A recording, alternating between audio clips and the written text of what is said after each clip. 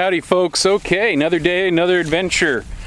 All right, thanks for tuning in to Blackacre Ranch. I'm Jeff, and uh, I'm here with the pigs. Now, we have a bison ranch, and we have 32 bison, well, 31, and uh, a number of babies.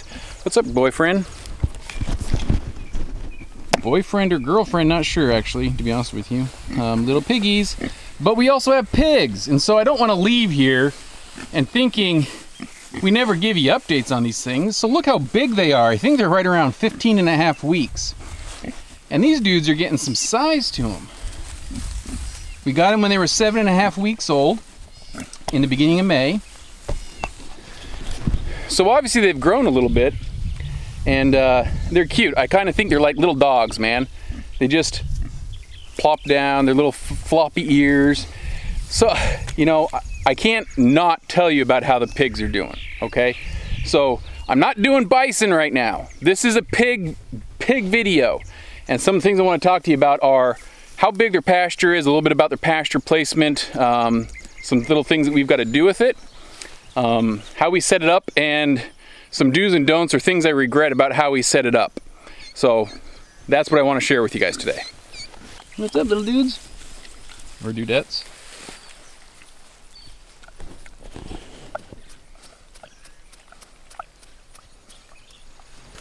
Okay, this is their shelter. Let's start off with that. Shelter-wise, they have a goalpost. This is a soccer goalpost that we just uh, found on the property. Threw some tarps up. It is not pretty, but it is shade, it's effective, and the pigs hang out under here and they root around. And like all little piggies, they just follow me. Aren't you guys cutesies? Anyway, they follow me, they're rooting around. Um, like I said, this tarp's seen better days. It's a piece of HUD it was cheap, whatever. But this was just to give them some shade during the days and let them kind of relax someplace. We have them on 0.4 acres, um, and it's generally a rectangle. Outside the fence over here is another 0.2 acre spot between some sidewalks and then another 0.4. So it's all symmetric about the center section here. So this is a 0.4 section. Um, as you can see, there's tons of grass, like everywhere there's grass. Um, these are red wattle pigs. They do forage. They have the little dangling thingies next to their mouth. Um, you can kind of see it on this guy back here. If little piggy would get out of the way. You can see it just kind of dangling right back there. Uh, I'm not sure exactly what that's for. I don't think anybody really does. But these guys are good meat. They have a very nice flavor to them. Um, they grow fairly well and they do well on forage. So when I look at my pasture, I think uh, they suck at forage because they have so much grass. So maybe I'm feeding them too much, I don't know. But these guys just seem to have a lot to eat, but they don't eat it. So anyway, this is our shelter, it's good. Now we placed our food in here. This is just one of those typical feeders, hog feeders. Opens at the top and it comes down at the bottom and they use their nose, they get in there. They're actually probably empty right now because I haven't filled it up yet. Um, they were going through about two, three bags a week. Um, this aluminum guy, it, my thoughts are it kind of sucks. It's kind of cheap, but it works. Um, the leg down at the bottom right hand side is kind of bent. You know, it does its job, but um, the part that I don't like really about what we have set up is that it's over here. Okay, so whenever we bring in food, we've got to carry it from all the way to that gate, and I've got to park on that slab. So it just makes it more tedious. You might ask yourself, why did we do that? Why did we put a gate in the far corner to then put the food in the middle and then have to go ahead and drag it and carry it all the way in here? Well, the reason we did that was because we're stupid, okay? When we did this, we didn't think about that. I have the gate up top because I would think that that's where I'm going to be unloading pigs and loading pigs. So I can back the trailer up over there um, and get all that taken care of when they get to slaughter weight. Now the first time we had pigs last spring, um, it ended in disaster. All the pigs died. Go back and watch it. You'll see in my videos, I don't know if it was 30 or 40 something, um, pig attack, that kind of thing. So anyway, enough said. We've got these guys, but I was gonna put them over in that corner. and uh, put them in a trailer, in other words. That's where I was going to bait them in, back the trailer up, and do that. Don't put your food in the middle of your pasture. You got to carry it all, man. It's just, it's dumb. We're going to live with it this time. We are going to live with it this time, but in the future, we're not going to do that. Let's get these guys a little treat. Some watermelon.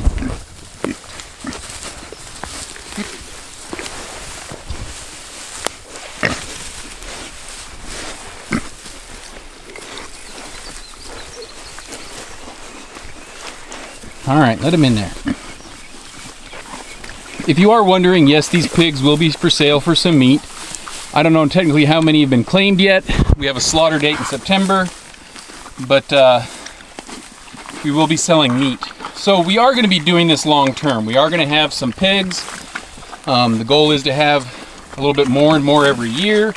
We only have four this year. That's all we could get our hands on.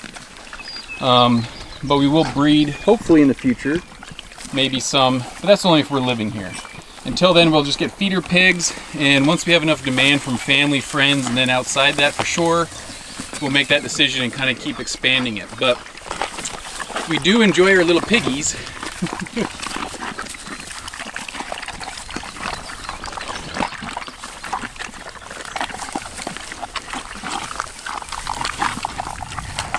and they like watermelon.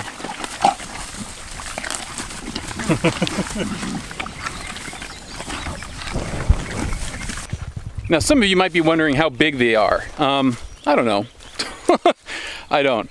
You know, they have ways that they've said that you can measure these things. Um, we're not around the pigs enough that I can go up to them and pet them and other things. They'll come up to my feet, they will sniff it, they will try and bite my feet. They'll do different things like that, but I can't go up to them and just cuddle them and call them George, okay? It's not gonna happen. So I haven't measured them, I haven't weighed them. Um, so it's kind of one of those things, it's like pregnancy, right? You go to the birth and you find the gender out there. We're gonna take them to slaughter, we'll find out their weights, um, and then calculate a bunch of things. So I don't know their weights as they're getting older, but you know, I'm fine with that. Let's just find out when we get there and go from there.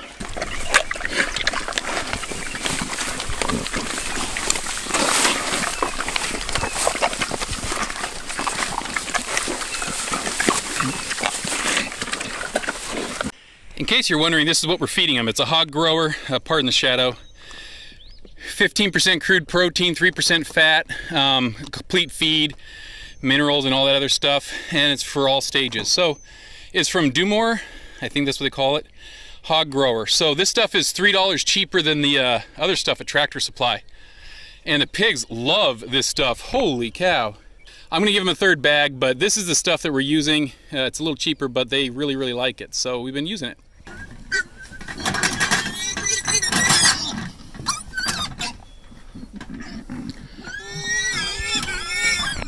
All right, these guys think they're dying, man. They're not. You're pasture pigs.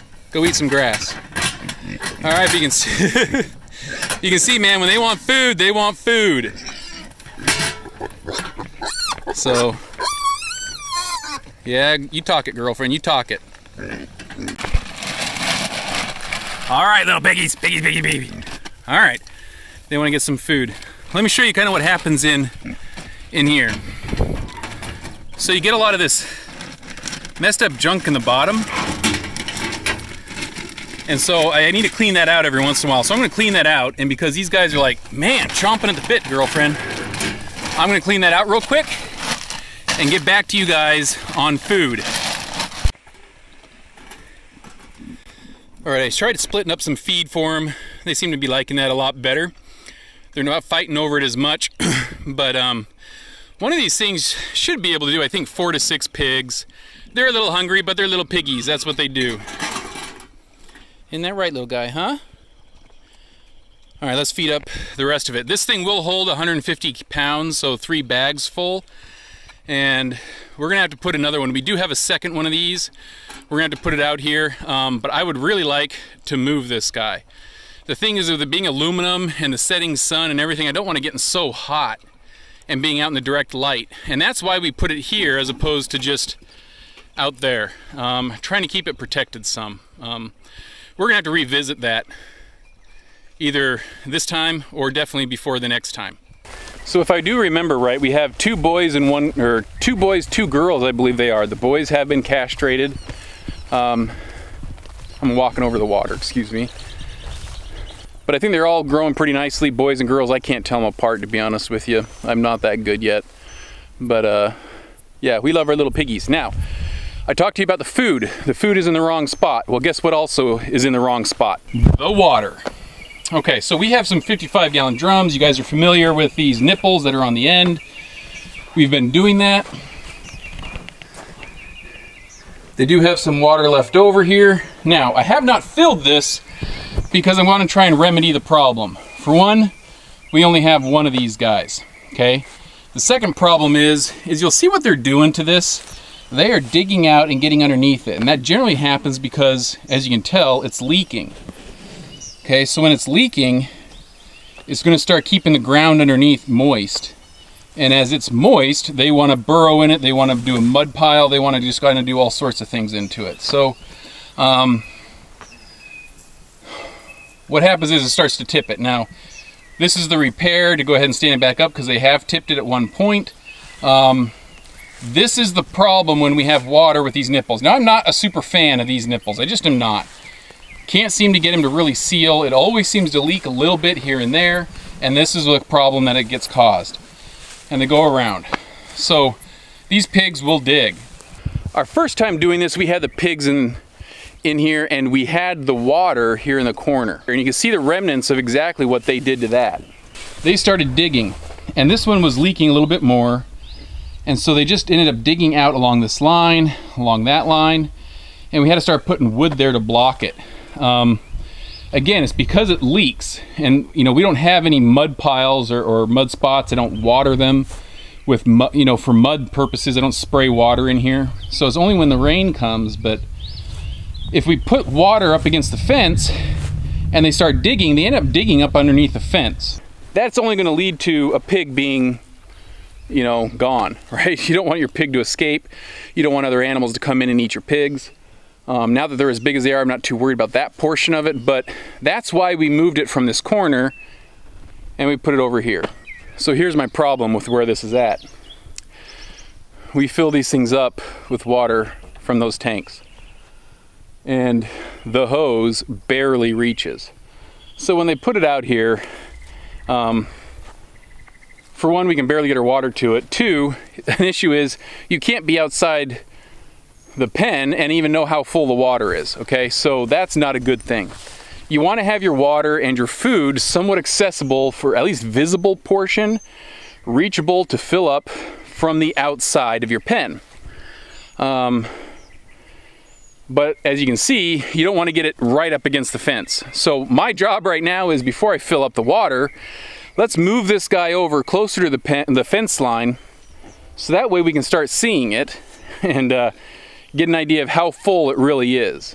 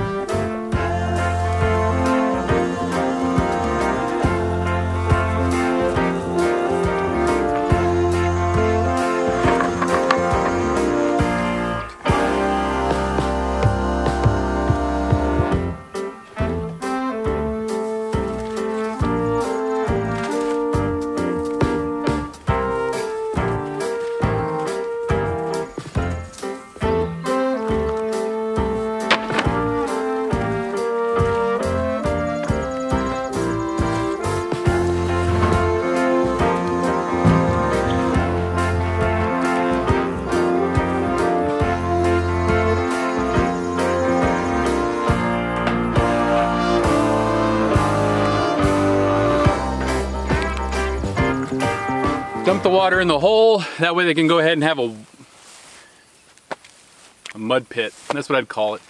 Anyway, I moved the water tank closer, the 55 gallon drum closer to the fence. Steve was so nice. I come over here to fill it up and what we have to do is walk over to the tank and then walk all the way around or drive to that gate to walk all the way back to get the hose. And when we turn it off, we gotta go back. Well, Steve was nice. He put a little nozzle on the end so you can just turn on and off. Little stuff like that that makes Steve such a great guy, but also, you know, I guess I could have done that. I just didn't think about it. So anyway, all right, so we have a 55 gallon drum and I'm filling it up with water. I would like more water than that. We have a drum that's sitting there with the top off right next to it and uh, that one was leaking. So what I'm gonna do is, I think it was because the hole was drilled badly when we did it originally. So I'm gonna swap over to this guy and um, see if I can get him done and then have two, meaning 150 gallons pretty much. So let's see if we can get this done.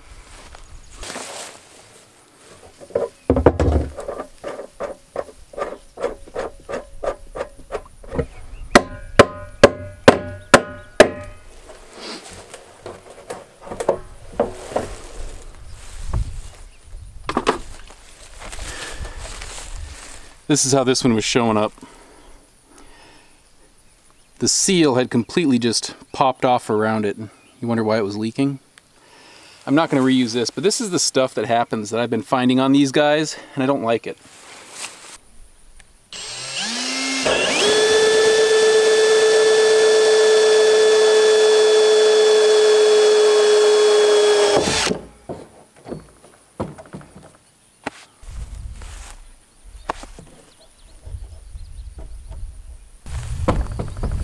One thing that I did forget to mention was this has a closed top and I can't put my hand in there. So I'm gonna use the Sawzall and uh, I'm gonna cut a hole in the top.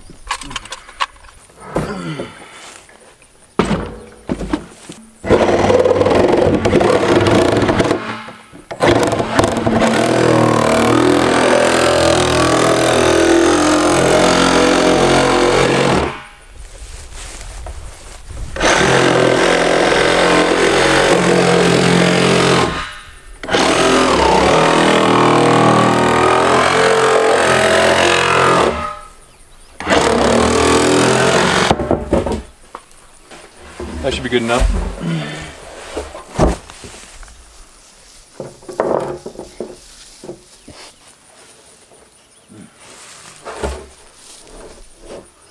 Total suck. That bites.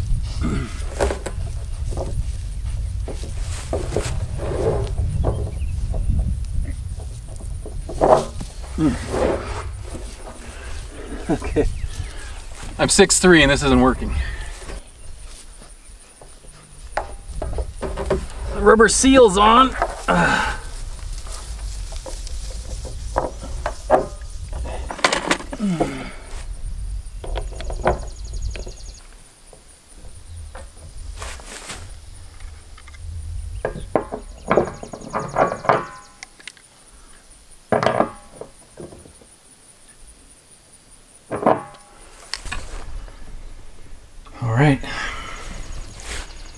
Think we've got it going.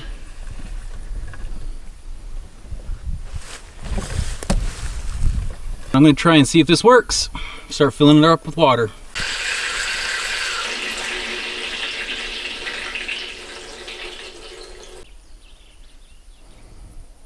Looking at this fitting here, I hope you can see it. I know I'm close. It doesn't look like it's leaking. So it does have water coming out of it.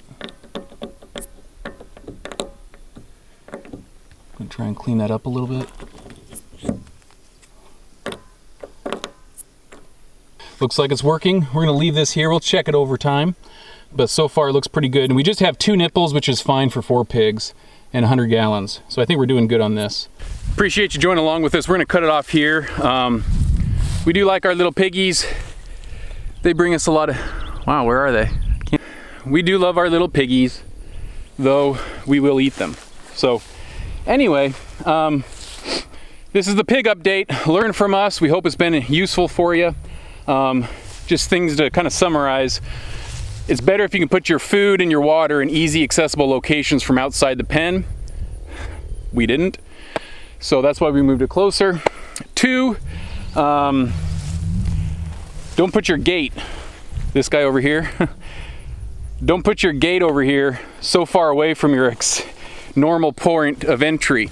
We usually enter from the pavilion and this is way not in the same spot. So that was kind of dumb too. But anyway, this is the last year for this piggy shelter and everything, so we're gonna move them somewhere else. So anyway, guys, we appreciate you joining along. We're grateful that you're there. Um, our subscribership is kind of increasing. We appreciate that. We really do. If you haven't thought of subscribing, if you'd give it a, a quick thought, hit that subscribe button. Um, there are a lot more things to come on this little ranch. So we've got tons of buildings to redo um, hay barns, all sorts of stuff, animals. We still haven't gotten all the animals that we want to have. Those are upcoming. Uh, chickens, Highland coos. Anyway, so you're at the beginning, the ground stages as we're learning about all this and getting it done. So first generation farm, never ranched before. So that's what YouTube's for, right? You learn about everything and you can do it yourself. So anyway, pound the like button, hit the subscribe, and uh, share it with your friends. We'd really appreciate it. Um, with that said, I'm gonna sign off. Talk to you later. Bye.